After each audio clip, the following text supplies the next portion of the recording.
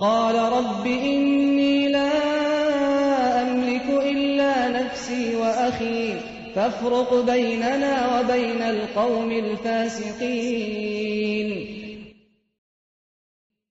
Musa, Ya Rabbi dedi.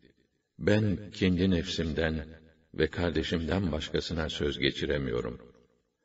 Artık bizimle bu itaatsiz, bu yoldan çıkmış topluluk arasında sen hükmünü ver.''